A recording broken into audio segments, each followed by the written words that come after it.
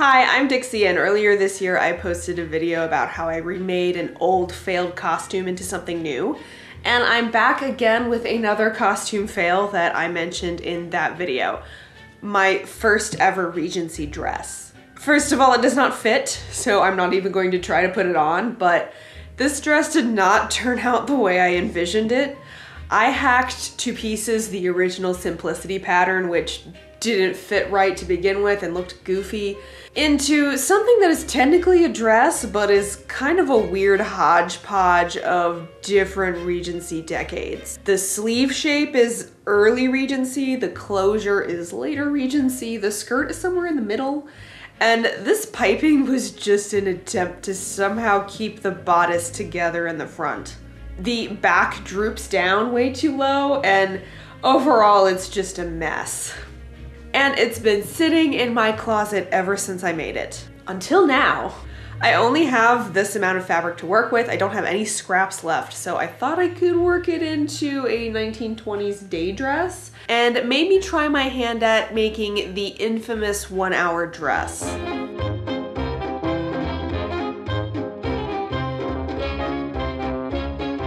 When I first thought I wanted to do the one hour dress concept, I thought it was a one page tutorial published in a magazine sometime in the 20s. And then I realized it's actually like a full book of multiple variations on the same dress design. But none of these really looked like the pattern shape I'd seen people use to make a one hour dress. The thing that I had seen kind of looked more like this. And this book is a little bit different. But that's okay because I think I'm gonna have to change the way that my dress is going to be made compared to the original tutorial because I just don't have enough fabric to make it work the way these instructions call for. The book has you take just a few basic measurements, including your hip, your armhole, and over your shoulder from back hip to front. Your waist doesn't matter because it's a drop waist dress, but it also doesn't ask you to take your bust measurement either which means the book is making a few body assumptions, like that your bust is smaller than your hips, which isn't the case for everyone. I took some extra measurements like how wide I wanted the neckline to be and the length of the short sleeves. First I had to chop off what would become the skirt portion of my new dress. Anything left I could use for the bodice. I didn't have enough length to cut the front and back bodice sections of the dress all in one like the book calls for, so I had to cut separate pieces with shoulder seams. Using my measurements, I first drafted the back piece starting at the neckline. Next, I drew the shoulder slope using this bendy ruler that I conformed to my own shoulder line. I knew since my shoulders were so sloped that if I cut a dress with no shoulder slope at all, like this image, it would probably look droopy on me. I drew the arm opening and cut out my back piece, then used that to make the basic front piece and edited from there.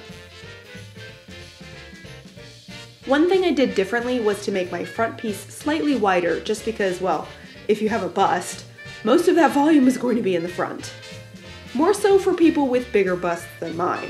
I also cut the back armhole area a little longer than the front. This gives me a little more space which I need for my rounded upper back. Well, I sewed up the top portion and it's looking pretty good. I think I may have overestimated the shoulder slope a little bit over here because if I pull this together, you start to see these lines. That means my shoulder slope is probably too severe but that is okay. Um, I may have needed to add more room in the back hip, but that is okay too because I need to split this down the middle to add a center panel and I can add more width in that way and then that will hopefully add to the back. But otherwise my side seam is pretty straight, which is also good. All right, so we're getting somewhere. I knew I wanted a kind of contrast center panel on the bodice to create that overshirt, undershirt kind of look that was popular in the late 19 teens into the 20s. And the only big chunk of fabric I had left was the former bodice. I knew I wouldn't have a lot of fabric to work with in this project, so I wanted to make some kind of contrast collar. I bought these pre-made collar pieces online while ordering other costume supplies and I wanted to get free shipping. It's obviously modern made and the fabric definitely has some amount of polyester in it, but I think I could make it work for this project. I pinned the whole thing to my dress form just to try out different collar options and I asked Instagram which version they liked best. And the winner was the higher collar, which surprised me because I actually kind of like the other version better. Now I had to take it all apart and attach the center panel for real this time.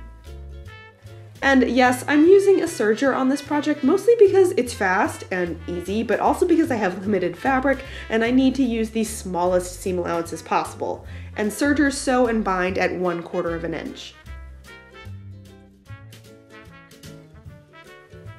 I hemmed the sleeves by hand just because my original skirt hem was also done by hand, and I think it makes for a very clean finish.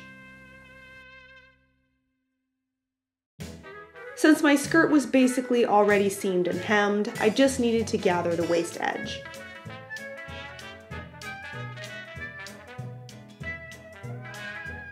I next attached the skirt to the dress. One issue with working with an already cut and sewn skirt is my side seams on my skirt don't match the side seams on the bodice, but oh well. The collar went on last and it's just layered onto the neckline. Then the narrow seam allowances are folded under and hand sewn down. Since my neckline is more curved than the inner edges of the collar, the collar doesn't lay perfectly flat, but that's alright. When I tried it on, I noticed one side of the collar was slightly higher than the other where it meets the center panel. This is a nitpicky thing that only I would probably ever notice, but I still want to fix it. I took just a few inches of the center front apart to re-ease it back in, and it probably stretched in the first place because this fabric actually has a tiny bit of spandex in it.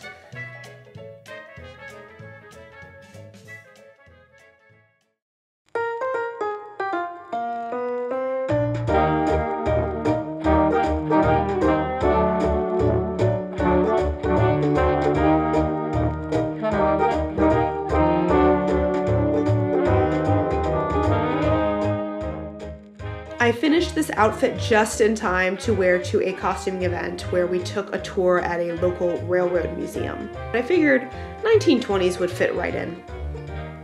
I'm wearing this over my 1910s chemise and corset. You obviously don't need to wear a corset for the 1920s, but I needed some way to easily hold up my stockings, and my corset has garter straps. I'm also wearing my new Edwardian shoes, some cotton gloves, a vintage necklace, and a hat I didn't document because I literally made it the day before the event by unraveling a thrifted straw hat and trying to form it into a cloche style.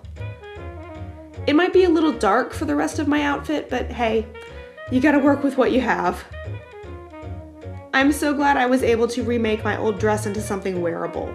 The 1920s can be a love it or hate it kind of fashion, it doesn't mesh well with modern beauty ideals, but if you haven't already, I urge you to give it a try. Sometimes sewing and costuming is all about getting out of your comfort zone. Let me know in the comments what you think about 1920 styles, and if you've ever refashioned an old costume. Thanks for liking and subscribing. Until next time, happy sewing!